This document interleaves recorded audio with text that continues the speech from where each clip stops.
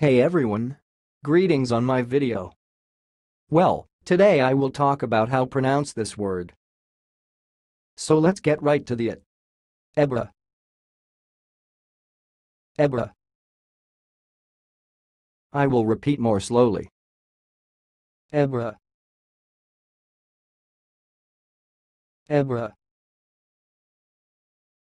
That's all, thanks for watching, if you liked this video, please subscribe to my channel, if you want to share your opinion, please leave comment for this video, thanks and goodbye.